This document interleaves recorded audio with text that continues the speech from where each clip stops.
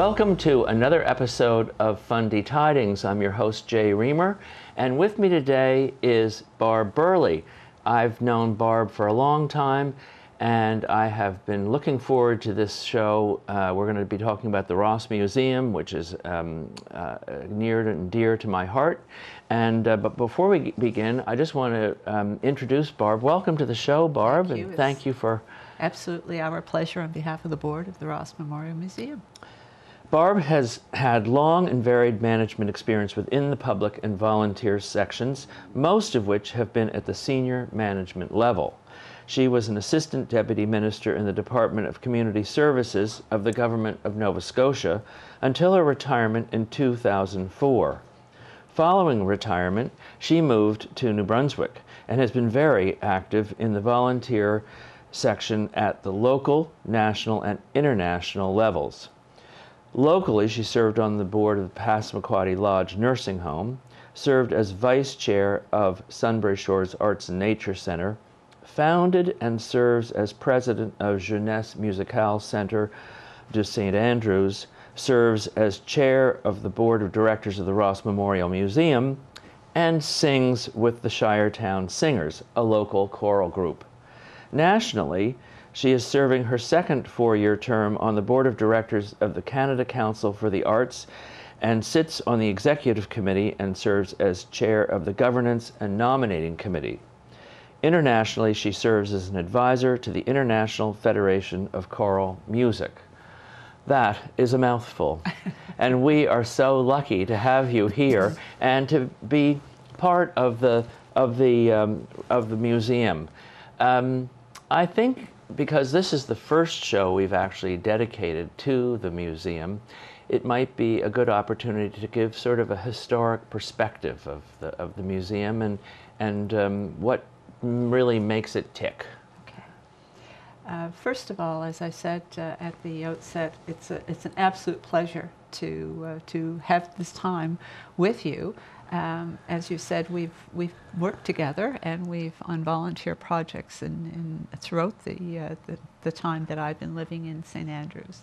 Um, the Ross Memorial Museum uh, I became involved with uh, over three years ago now uh, as a board member. Certainly before that time, I was uh, uh, I was involved uh, strictly on a volunteer basis because I would assist with different projects and so on. Um, but the, the Ross Memorial Museum is very special uh, to the town of St. Andrews. Um, it, uh, the couple that uh, it's uh, named after uh, were Henry Phipps and uh, Sarah Juliette Ross, who were an American couple who traveled to, to this area in the early 20th century, who absolutely fell in love with this area. and um, we'll probably talk about this uh, in a few minutes. But the Ross Memorial Museum is, is really, uh, as much as it provides an opportunity uh, for the town and for visitors from abroad to, uh, to be able to experience uh, the collection uh, and uh, the wealth of the collection. It's also a wonderful love story. Mm-hmm. Um, the Rosses were, uh, uh, did not have children. They traveled extensively. Um, they actually took the first cruise around the world. Really? They did. And uh, they actually traveled by car, if you can imagine, in the very early days of the 20th century from St. Andrews to California which would be quite a trek in those days. Yes. They purchased a home uh, after having a wonderful opportunity to uh, have a picnic on the top of a, uh, a crest um, and in Chamcook, and they purchased a home which was called Rossmount. And that's what they used, uh, that uh, residence was used as a summer home during their stays here. Um, they uh, subsequently they, as they collected around the world, uh, artifacts, treasures, furniture, uh, and so on, which comprises the collection uh, at uh, the Ross Museum, they purchase specifically um, a house here in the center of, of the town Platte to house all of their acquisitions. And it is that house that we we have today It's called Chestnut Hall, and uh, that is the place where we celebrate the Ross's lives.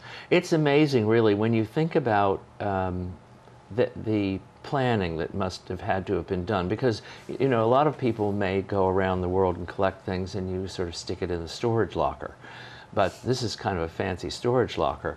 And um, to have given it to the town is uh, an example of generosity that really is is almost boundless it's it's it's quite extraordinary because the gift keeps on giving Absolutely. generation after generation um, the Henry Phipps Ross was an Episcopalian minister, uh, and um, part of his life experience was to uh, to express the goodness of the world and so on.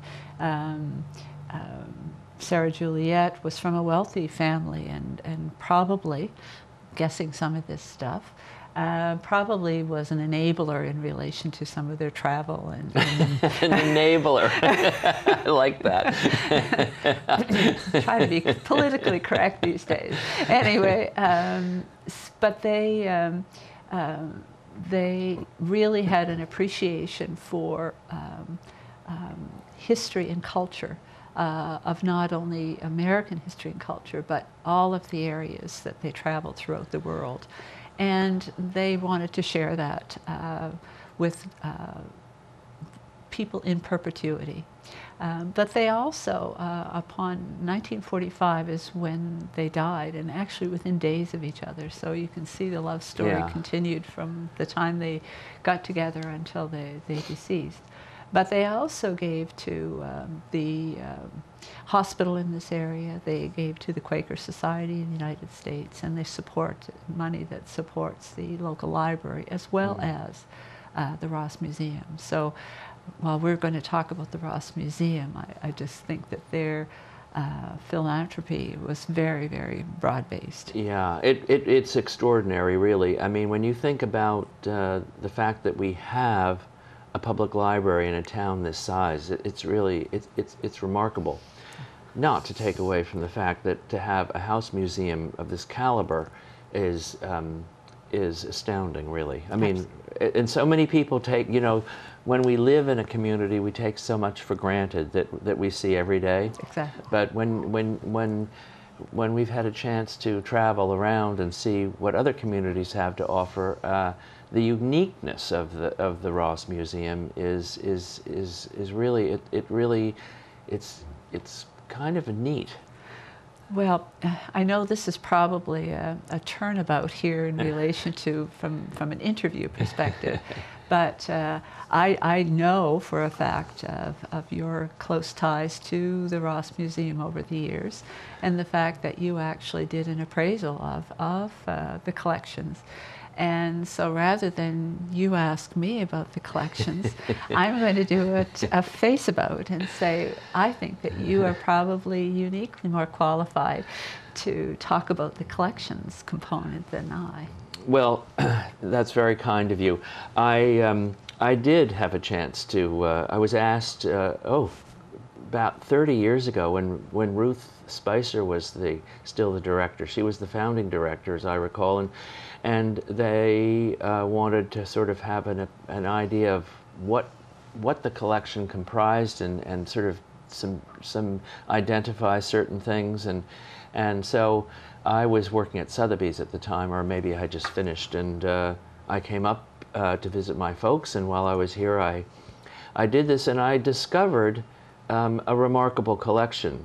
Uh, not the least of which is the house itself. Absolutely. I mean, it, it is a masterpiece of of sort of Georgian, uh, I guess, really well, Georgian architecture. Uh, it is a brick house, which is unusual in this town. Yes.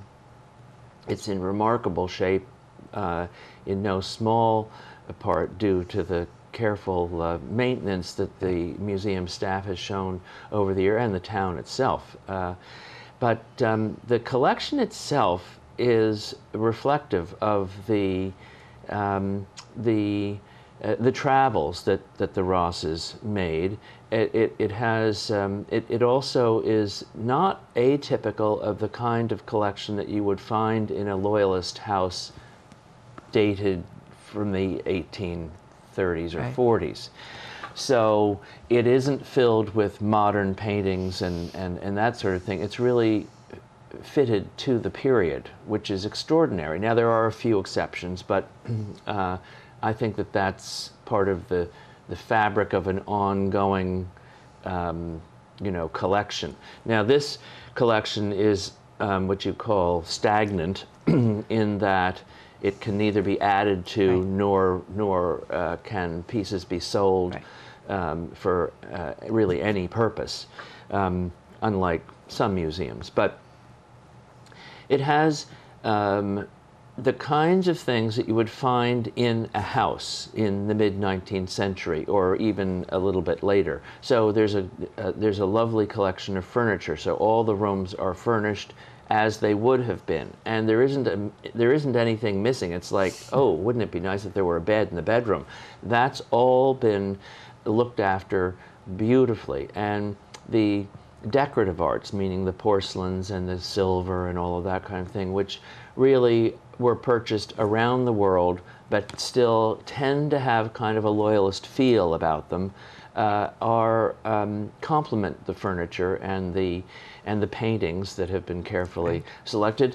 Uh, actually, I believe that Mrs. Ross was quite a painter herself, and there's some of her works um, hanging and uh, they it was it's just it's it's an interesting collection because whether you're wanting to look at a piece of history or you're wanting to look at the concept of putting a collection together from one couple's point of view or whether you want to study um, 19th century pottery and porcelain or furniture or paintings or prints uh, or even rugs. They have some lovely rugs there.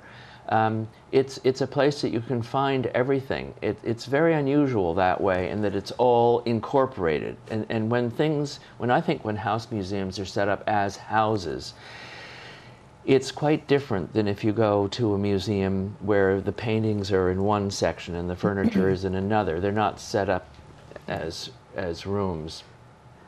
So um, I think it's it's a fantastic collection, and and from what I can gather, um, more and more uh, people visit it to study it as a collection, which I think is really extraordinary. And with the um, with the uh, improving of technology over the course of time, uh, I'm sure that um, that the collection will be more accessible um, to people who may not have the opportunity even to ever visit North America. When we have a, a future opportunity, I'd like to uh, to elaborate on that point. Yes, I think for another show um, we could probably talk about the you know the the the, the new bells and whistles that the museum has. But um, as it is now, I think that the um, the museum is a jewel in the crown of St Andrews. It's it's in some ways it's it's it is familiar to many of us because of the Christmas show and all of the things that the local people get involved in. And I think that it is actually because of that kind of involvement that the local community can uh, share with the museum, it provides an opportunity for volunteerism. So, with that piece of information, I'm going to turn the You're gonna hand baton back, back to you because um, I think volunteerism is is the it's really the heart of a community. Um, we have to be aware of what's going on in, our communities, and by volunteering with various organizations, it's a way that we can become connected. And I think that the museum is a it's a really fun way to connect to the community. To um, to follow up on on uh, the discussion with regard to the collections, uh, I would just add uh, one, I, I guess, one uh, item.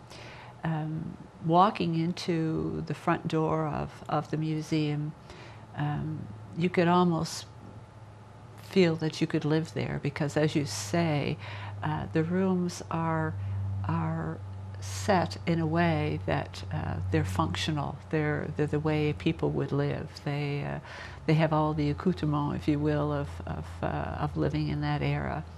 Um, the dining room is set. The you know it looks like you you could have a meal, but um, the there is a room upstairs called the exhibit room, which is an area that uh, is set uh, that time has been taken in great care to actually uh, portray the life uh, travels of uh, the Rosses. Uh, through pictorials and through uh, actually a bilingual uh, uh, explanation of, of the same. And some artifacts are there as well.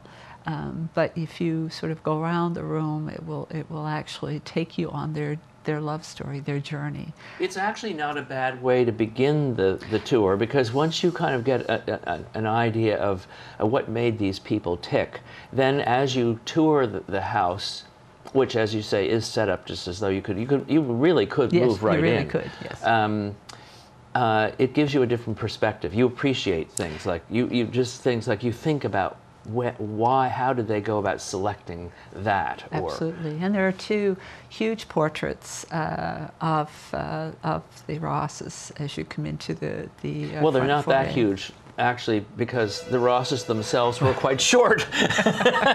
Maybe they were short, but the, the, paintings are quite large. um, anyway, um, the as with uh, most organizations that uh, uh, have minimal staff or are dependent upon the support of the community to, uh, to continue. Um, the Ross Museum is no exception to that. And uh, the, the museum uh, is supported uh, by a huge number of volunteers for mm. a very small area. Um, we can talk more about um, sort of the some specific uh, activities uh, that uh, volunteers get involved in in a few moments.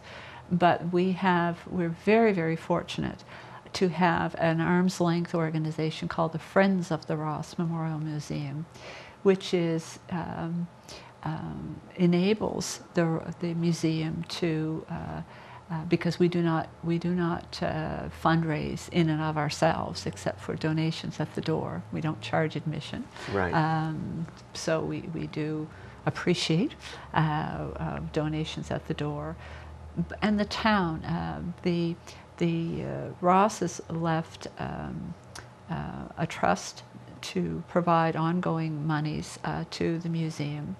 But you know, as time went on, and of course the uh, downturn of the economy on investments uh, Im- had an impact, a negative impact on on that fund. So the town actually now provides 70% of our funding, wow. uh, versus at one time the uh, the uh, fund from the Ross is funded as 100%. So we're very aware that uh, we need to be careful with public funds. Um, so the, the Friends of the, of the Ross assist uh, for those special items that uh, we, we really need and want to enhance the, uh, the uh, visitorship uh, of the museum uh, or to do special, special projects. Um, there are a number of volunteers through the, through the Friends of the Ross and we rely on that relationship, which is arm's length. Obviously, we, uh, we can't sort of get too close to uh, uh, managing our funders. Um, but without them, we would not be able to do many of the things that, uh, the special things that uh, we, would, we do. Uh, for example, this past year, um, we needed a new big flat screen TV because we show, we show movies during the winter. Right. Uh, and we show uh, uh, examples of their travels and so on and so forth. And our, the little TV we had was, you know, kind of uh, going. Uh, it was it was not needed to be upgraded.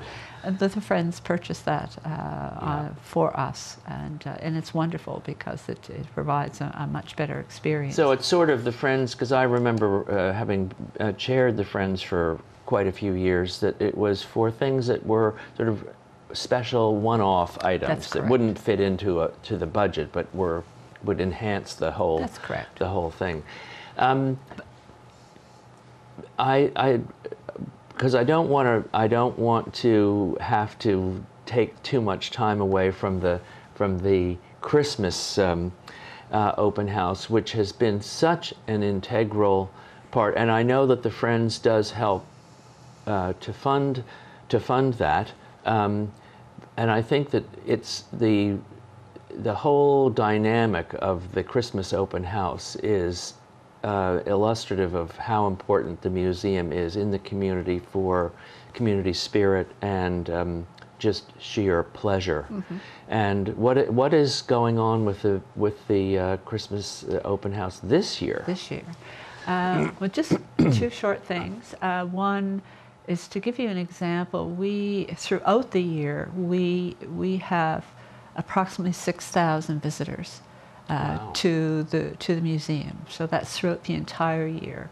Um, so uh, we uh, uh, Christmas time. Uh, uh, is, is special in that part of the celebrations in St. Andrews, uh, there is a week set aside where there are special activities.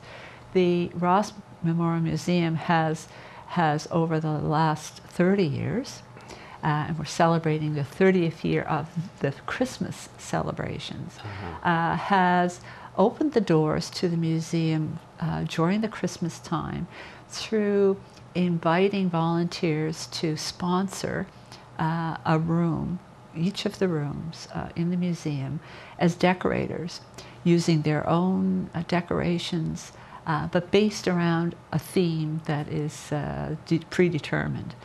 And the this is done. Um, the uh, children then from all of the local schools are invited uh, during uh, the daytime uh, to come and to visit, to see all of the the Christmas decorations, and there are special there are cookies that are made that are. Um, um, dietarily friendly to all children. Uh, and uh, the children all come and they get a cookie and so on. Last year, for example, we had 700 children alone uh, who visited during the Christmas, uh, the four day period. In the evening and late afternoon and evening, um, again, the doors are, are opened for the public. Um, it is an absolutely magical experience. If you ever think, well, I can't really get in the Christmas spirit, visit, please visit, because each room is, is a story. The lights uh, are fantastic. We have artists um, who uh, play musical instruments, um, and we have storytellers downstairs to. Uh, to And don't the Shiretown singers come by and and the sing? Shire, I was getting to that. uh, the Shiretown Singers, who uh, have a, a Christmas uh, concert in and of uh, their own right, they come and they uh, present part of their Christmas concert and uh, sort of uh, line up up the uh, winding staircase and provide uh, uh, some of their uh, their concert. So it, it's an absolutely wonderful experience. I happen to have brought along. Um, This is uh, this year. The uh, celebration starts, uh, uh, as you can see, it's on the 28th of uh, November, and it runs through till the 1st of December. And uh, we're really, really looking forward to this this year, um, because it's our 30th year. Um, it's the theme is celebrating 30 years at Christmas, but each of the decorators were at liberty to choose one uh, of the, the themes of, of from that 30 year uh, a collection of, of themes. It's amazing to me, um, being a museum person, um, that uh, that this it's a very small staff. I mean, you've got two people uh, at, at the museum who can um, sort of take away things that would be really in harm's way um, with a pack of people coming through decorating up. But so much is left exactly the way it was, and to pull a pull something like that off year in and year out is remarkable. I don't know of one other place where that happens. I mean, I'm not saying it doesn't happen, but it is an incredible feat. So for people to have the opportunity as volunteers to participate in that kind of a thing and to actually work around. You know what it does is is that it, well it's just a cool thing to do but it also it provides people an opportunity on how they might decorate their own houses. You know it's it's oh, how can we use Granny's china? Um, you know, uh, and and because it's always it's all, all it is is a is a dust catcher in the in the clavicle. Let's bring it out and and and use it because it, it, it by actually participating in something like that, it gives people a different perspective and a comfort zone that they wouldn't have had otherwise. Well, and, and as you can appreciate, um, it is it is an unusual experience from a museum perspective to allow people behind the barrier, uh, if you will. Um, but uh, our staff, um, Margot Sackett and Carrie Cross, are dedicated staff. They work very, very hard all year round. Um, but they not only sort of take things away, um, those kind of unique things that might get broken. Uh, but as you say, the majority of, of artifacts are, are in place. They also assist uh, assist the decorators, you know, if, uh, if, in questions and answering things, or what can they do, what and, and not do, kind of thing. Um, but it's an opportunity. We feel it's an opportunity for the public, the volunteers, you and I and other people to actually touch things, to Yeah. get close, uh, to to really appreciate the value uh, of uh, the collections in the museum that most people normally can only see from a It's distance. it's a it's an amazing opportunity to make that sort of a connection because there I find you know when you go into a museum the artifacts are uh, separated from the viewer and and necessarily so. This gives this this is sort of a it lets the curtain down and, and have a, a chance. And through the careful oversight of, of Margot and, and Carrie, it makes it possible for this to happen. And- Absolutely. and for volunteers like you who have done such an amazing job. The um, we've we've sort of run out of time for this particular segment, but um, We're I- just getting started. I well, yes, I know this is this is this is part of what what happens. Father Time marches on, but I hope you'll come back and. Um, Again, and we can talk about some of the other aspects of the museum because so many people want to know more about it and how they can become connected. So um, thank you for uh, for sharing this time with us, Barb, and thank you for beaming in for yet another episode of Fundy Tidings. And I look forward to seeing you again soon.